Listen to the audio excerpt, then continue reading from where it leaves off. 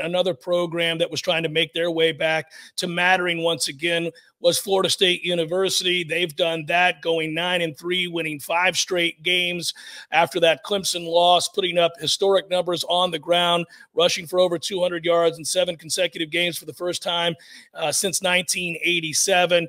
They've got themselves potentially a Heisman candidate going into next season if, in fact, they already get their quarterback, Jordan Travis, back. Joining me to talk about big picture and the win over the weekend against Florida is Ira Schoffel, warchant.com, of course, the website. Go check out the best in Florida State athletics at warchant.com. Hello, Ira. How are you, good sir? I'm great, Jeff. How you doing, man? I'm doing well. All right. So I asked Eric McKinney this a moment ago because SC has been out of the limelight. Now they're very much in the limelight. Florida State feels like they're knocking on the door to being a team in the limelight again with those five straight wins, sweeping the state rivals and doing better and better as we see offensively. They've got a guy quarterback that the whole country will be talking about. What did the win over Florida on Friday night mean for Florida State? I think it meant a lot, you know, and uh, it's funny, you know, some people looked at the celebration, the way the players celebrated, the way the the student body and a lot of the fans went on the field after the game to celebrate and looked at it like, well, why are you guys celebrating beating a six and six team uh, the way you are in Florida? But you know, this this season's really been about getting Florida State back to the point where they're not just competitive against their rivals, but actually beating some of the rivals. And they did that this year. They swept Florida and Miami, as you said. It's the first time Florida State's done that since 2016. Uh, they're state champions again, uh, self self proclaimed state champions. I don't know if uh, UCF has anything to say about it, but but Florida State beat both their rivals. They played really well um, in some big games this season. Finished nine and three. It's their best record uh, in a long time. They're going to be going to a good bowl game. They haven't been bowl eligible the last few years. So it really was just it was a good punctuation uh, point on on what's been a very good bounce back season for this program. Again, you know, beating Florida isn't the biggest deal in the world when you look at them in the season they had, but it kind of finished the deal for this team that really uh, you know has turned around Florida State football.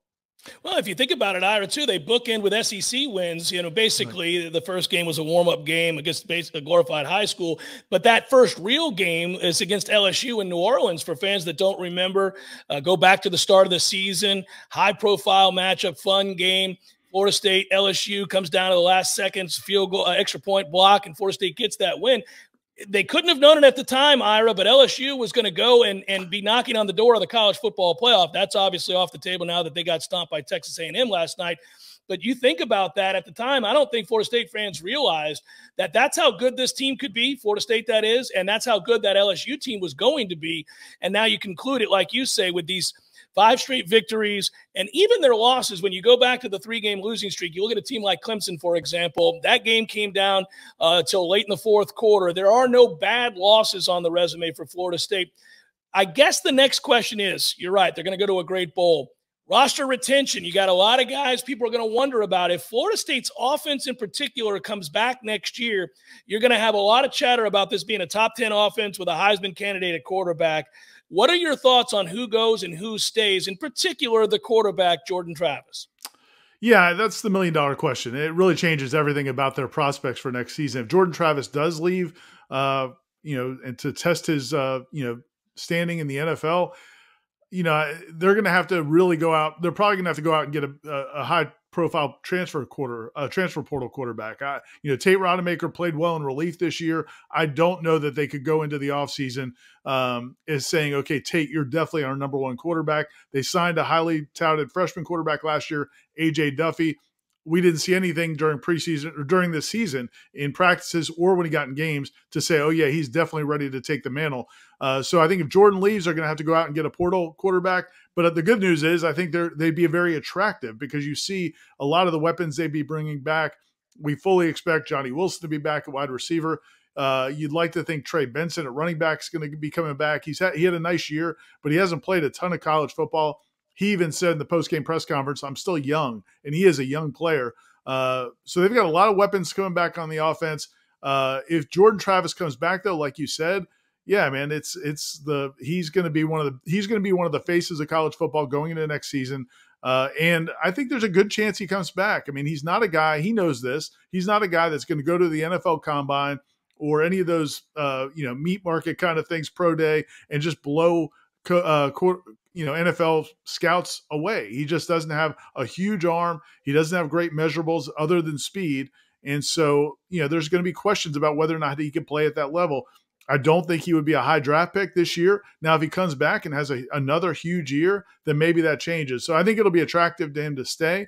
Um, if he does, it's a big deal, man. Florida State will be a team that might be a top 10, top 15 team going into next season.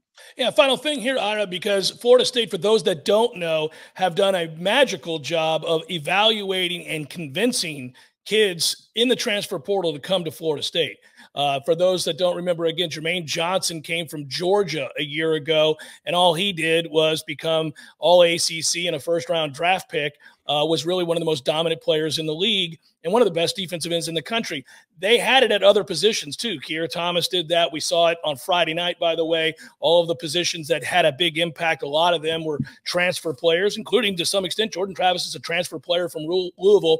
So they've really been able to tap into that market. It's a way programs can uh, dig their way out of hell. You saw it at Southern Cal, obviously. We just had Eric McKinney on. Those players, most of those players, including the best player, maybe in college football, all transfer portal guys. How much do you expect to see Florida State now hit the portal yet again?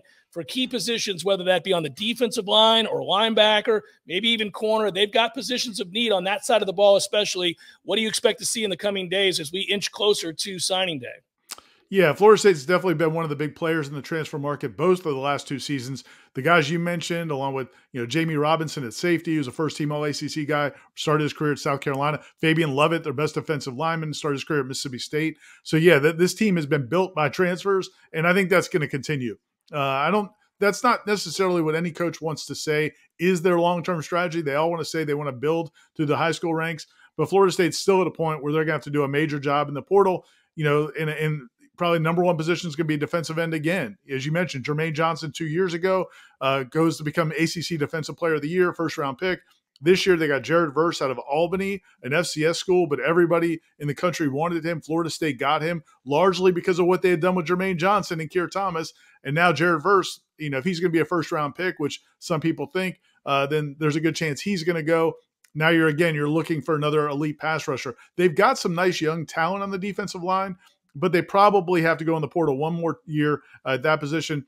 I think linebacker could be a position, uh, and definitely the secondary. Uh, I don't think there's any question. The secondary, Florida State's pass defense statistically looked pretty solid this year, um, but they did not have a good game on Friday against Florida, and and I think a lot of us think that they need to get better uh, back there, and they're going to lose Jamie Robinson, who's a you know one of the best safeties in the ACC, uh, and they might lose uh, another player or two in that secondary. So that's another position I think they're going to go hard after.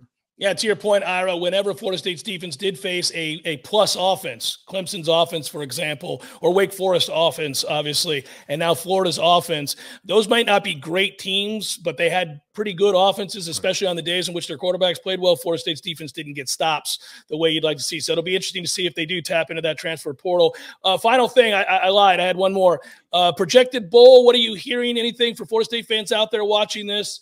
Uh, obviously, go to warchant.com, follow along, make sure that you're watching what they do as signing day approaches. They'll have a bowl game this year to get ready for. Where do you think they play, or what are you hearing?